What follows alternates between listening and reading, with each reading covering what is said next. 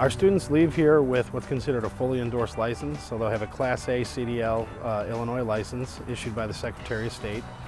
Uh, they'll also have the three endorsements on there, which would be a tanker license or endorsement, a uh, double and triple uh, endorsement, and then they'll also have a hazmat license, so they'll be able to haul hazardous materials. There's plenty of jobs in this field right now. The industry, uh, for several reasons, has at this point in time, the estimate is about 250,000 jobs.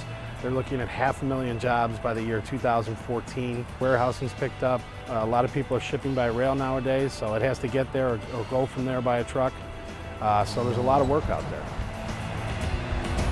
In pretty good detail, we're going to cover everything from the equipment, uh, the income you can expect, uh, benefits we offer. My name is Jim Benarkowitz. Um, my title is a Midwest recruiter with U.S. Xpress. College of DuPage here in Chicago area and across the Midwest is one of the better programs that I work with on a regular basis. We see a high quality of students. The faculty here, everybody that works in admissions are excellent at what they do. They understand what the needs are. They have a, they have a great background in this industry. They understand what the needs are and they provide U.S. Xpress with some quality students.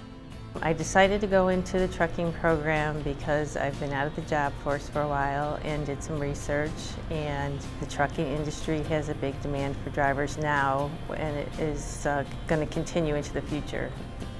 I didn't realize how much was involved in becoming a truck driver. It's more than just learning to drive a truck. Uh, you have to log your hours, uh, plan trips, learn to read a map. There's uh, a good mix of classroom and driving.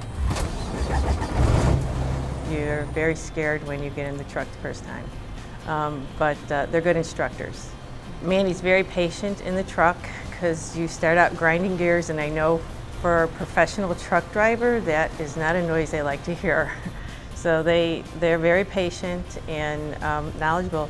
Actually, I was a driver for Coca-Cola and, and Miller Brewing Company about 20, 25, 30 years ago. Got out of it, uh, was a stay-at-home dad. And then uh, I started to uh, think about driving again. So that's when I decided to go to COD. Chris Bell and Manny, the instructors there, you know, I, I talked to them. You know, these guys been in the business and industry before, so I figured they could get me on track and, you know, get back to my driving skills that I had before.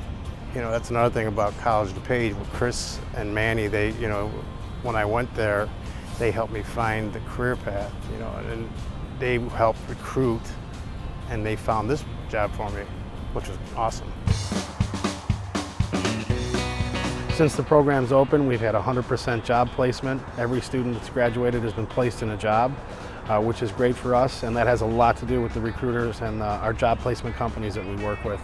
College of DuPage here in Chicago area and across the Midwest is one of the better programs that I work with on a regular basis.